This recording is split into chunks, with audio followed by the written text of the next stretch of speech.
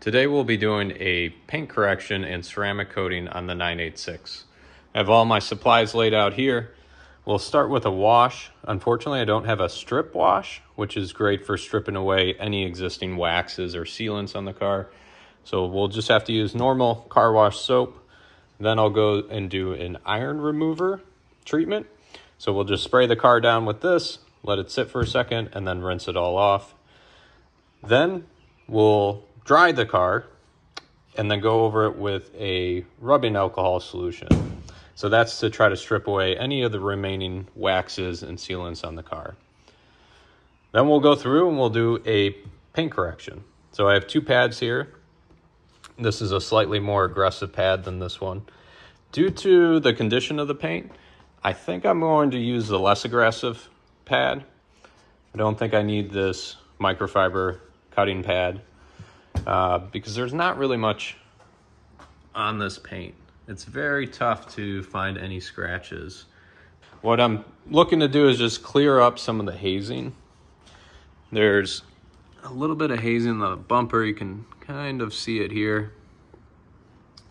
So I'm just looking to clean it up a little bit, but I want it to be a nice, clean, perfected surface for the ceramic coating.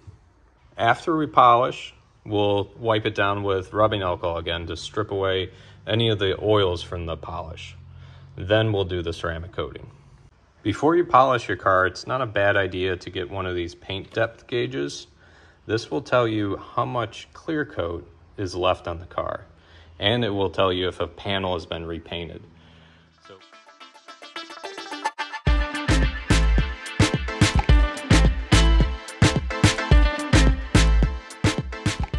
All right, now we can wash the car. I'm gonna throw you on a time lapse here. It's a bit boring, so we'll just go through this quick and then I'll do the iron remover next.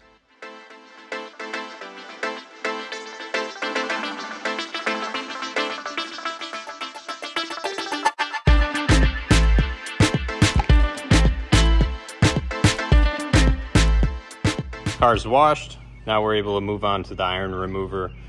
Read the instructions on this. You don't want this to dry on the surface. You don't want to let this sit on the surface. I've had these leak before and eat away at the inside of my cabinets. So this is tough stuff. You don't want to leave this on your car, on your paint and let it dry.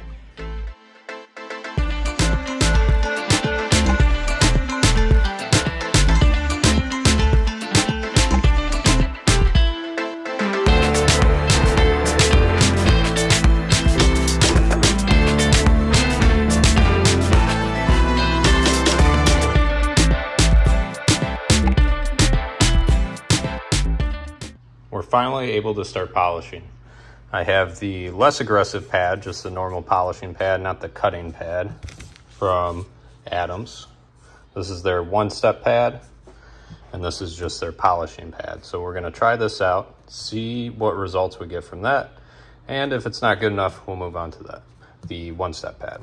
This is the area we tried polishing.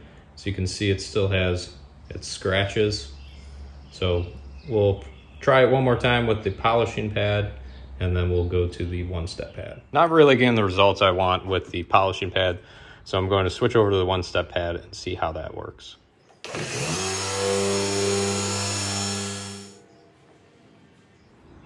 All right, the one-step did a great job.